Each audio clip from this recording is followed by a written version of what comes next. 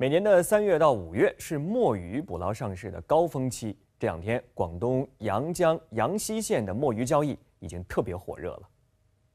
在广东阳江，墨鱼的交易一般都在下午，不时会有渔民把捕捞到的墨鱼运来卖给收购商，收购商会将墨鱼放养在网池里，一只只墨鱼在水里游来游去，看上去十分鲜活肥美。近一咗噶咯，一般都都有有三幾十斤啦，最多之後小五百斤了。这些新鲜墨鱼很快就被收购商和当地海鲜排档的店主收购了。